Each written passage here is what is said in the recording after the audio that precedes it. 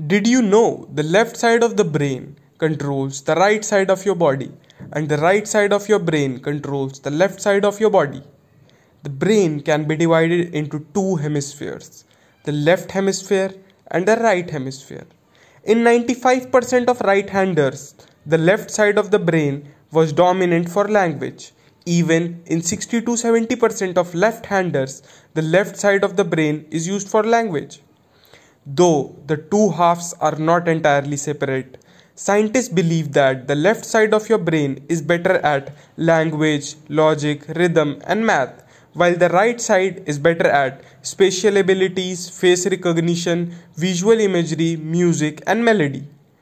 Apart from this, the left side of the brain controls the movement of the right side, and the right side of the brain controls the movement of the left side of the body.